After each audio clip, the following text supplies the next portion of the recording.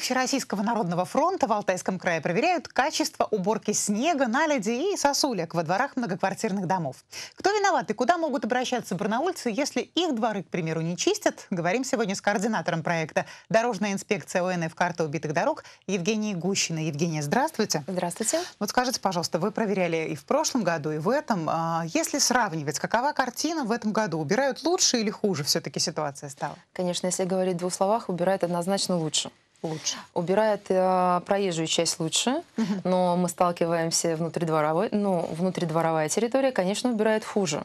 А, причина просто вся основная в том, что у нас нанеслись изменения в законопроект с вами, да, 46 а, ЗС, где у нас статья 27 говорит о чем? Говорит о том, что все сейчас э, административные протокола и нарушения на основании данного законодательства, э, вся ответственность на управляющих компаниях. То есть у нас администрация, собственно говоря, города нашего, либо председателя комитета ЖКХ ничего абсолютно не может сделать, так как а, эта, эта статья гласит о том, что это ответственность на управляющих компаниях. И поэтому на сегодняшний момент, э, если если жители видят, что их внутридворовая территория, территория никаким образом не чистится, а, не убирается, не вывозится снег, не очищаются снежные покровы с э, крыши, а, висящие наледи сосулек над балконами. А, Все это, собственно говоря, ответственность управляющей компании. А санкции какие для управляющей компании предусмотрены? А, санкции, административный протокол, и на должностное лицо выписывается штраф в размере от 2 до 5 тысяч рублей. Если это, ну, собственно, юридическое лицо, то там штрафы до 50 тысяч рублей. В каких городах вы проводите инспекцию? А, ну, так как у нас акция, собственно говоря, «Снежный фронт» проходит по всей России, то мы в Алтайском крае, конечно, проверяем крупные, крупные центры. Это город Барнаул, Бийск, Заринск. Мы туда уже тоже окунулись. А на сегодняшний момент у нас, э, так скажем, интересы есть город Рубцовск проехать, посмотреть. Поэтому, конечно, это города. Можно уже сейчас сказать, в каких городах края ситуация лучше, хуже? Топ-3 худших городов по уборке а как вы думаете? территории. Ну, как вы думаете? Конечно, на сегодняшний момент у нас э, самый отсталый, это, так можно сказать, город Бийск. А, Рубцовск. И, собственно говоря, потом уже, конечно, идет там Заринск и Барнаул. Вот ваши заявки, которые вы оформляете, куда вы их направляете? Кто на них реагирует?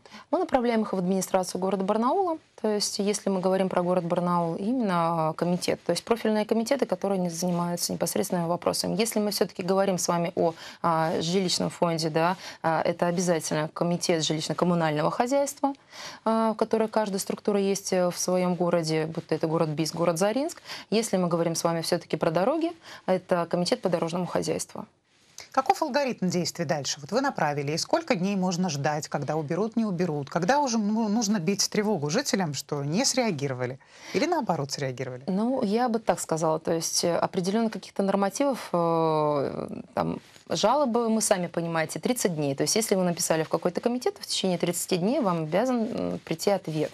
Либо растает ваш... снег, либо, да? Да, либо, да, либо уже растает снег. Но тут, конечно, это не актуально пока. Снег еще у нас в феврале месяце не растает, поэтому пусть наши уважаемые жители а, пишут именно, а, собственно говоря, перфенци... а, то есть а, с а, обращением именно от себя, от собственного лица.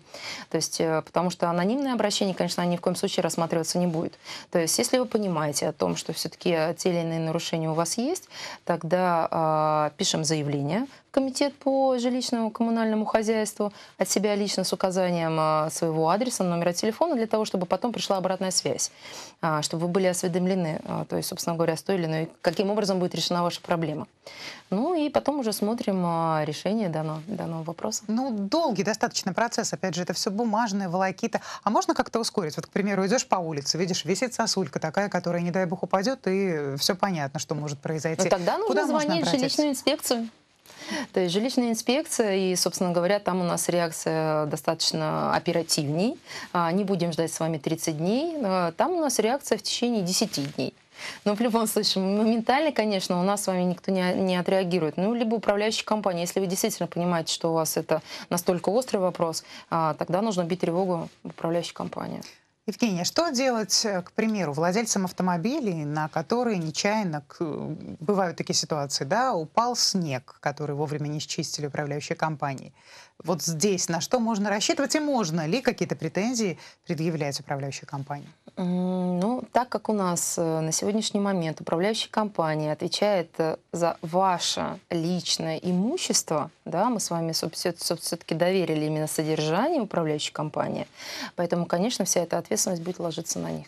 То есть э, несвоевременная уборка э, снежного покрова с крыши, пожалуйста, вот мы это имеем. Поэтому все наледи, и у нас есть такие случаи, когда э, транспортные средства страдают от этого. Поэтому пишем сначала в управляющей компании, а потом снова э, жилищную инспекцию. То есть если смотрим на управляющую компанию, у нас с вами никаким образом не реагирует. Ну а потом дальше уже в администрацию города. Ну и в судебном порядке. И в судебном порядке, конечно, тогда взыскиваем, если муж действительно никаким образом этот вопрос с вами не решили. Ну а если управляющая компания говорит, а вот ваш подъезд, к примеру, должник, и поэтому мы не будем вам никоим образом компенсировать, и снег не будем чистить, потому что вот там квартира 47 не заплатила.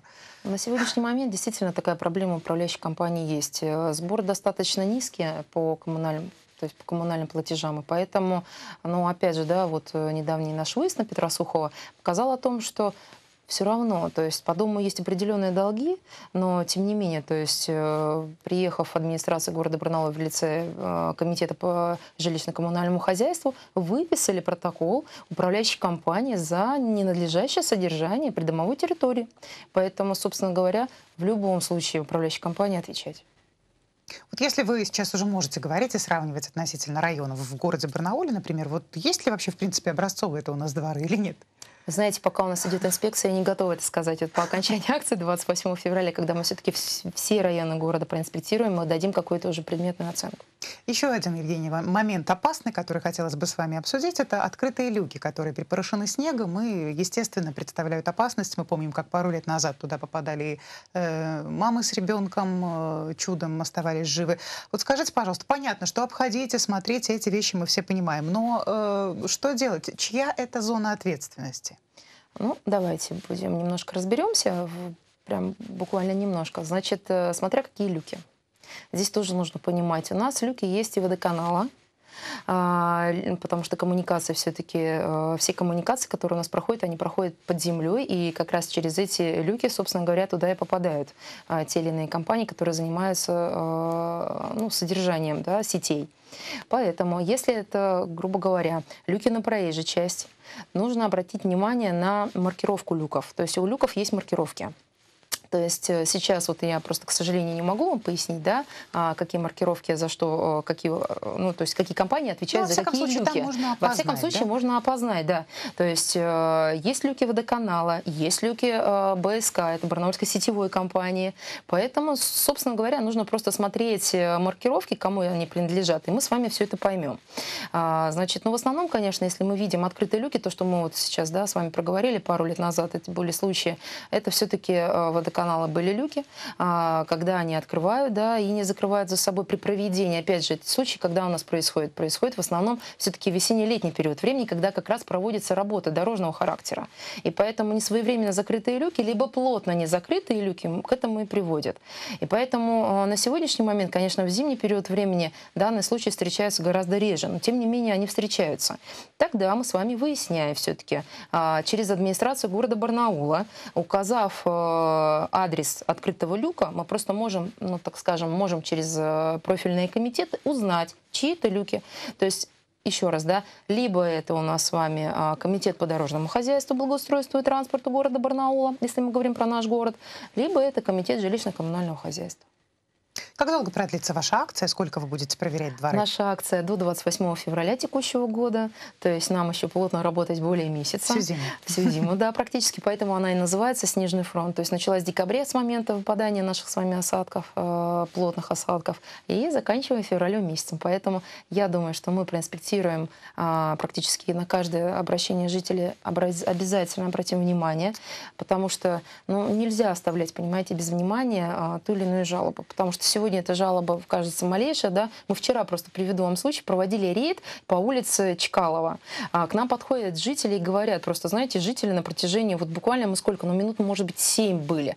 Подошло порядка 10 человек с обращением и с жалобами на управляющую компанию. Пожалуйста, помогите, нам надо убрать сосульки. Ну, вот в таком вот формате, да. То есть, действительно, значит, мы понимаем о том, что а, жалобы есть. Просто люди либо до нас еще не дошли, либо не дошли до а, комитетов а, города.